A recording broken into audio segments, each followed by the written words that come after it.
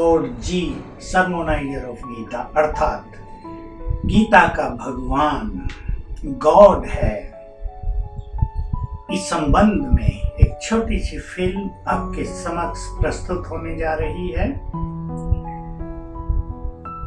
इसको प्रस्तुत करने का अर्थ है कि सभी का नाता अपने परम पिता से जुड़ जाए क्योंकि हम भी निराकार आत्माएँ हैं। लेकिन अपने को भूलते भूलते हम अपने को साकार मनुष्य मान बैठे हैं। इसलिए साकार जो हमारे देवी देवता हैं, उनसे ही हमारा संबंध है, उनकी हम भक्ति करते हैं, उनसे ही हमें प्यार करते हैं। इसमें कोई हर्जा नहीं है।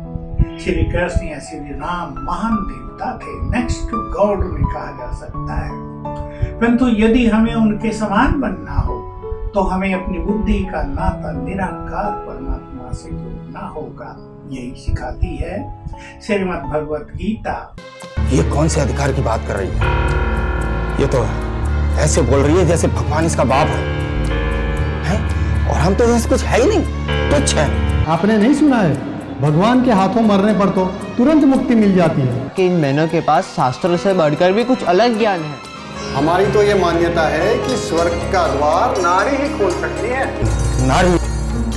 नर्क का? क्या छोड़ो है? अरे विनाश काले विपरीत बुद्धि। क्या भगवान को बार बार गीता का ज्ञान सुनाने आना पड़ता है? पर असल में फ़र्स्ट प्राइज तो सिर्फ़ शिव बाबा का है।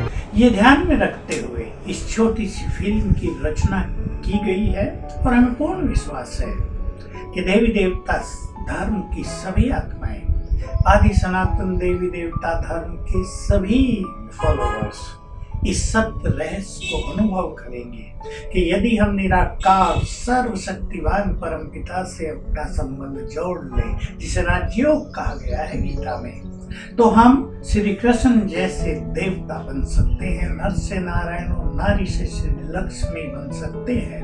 हमें पूर्ण विश्वास है।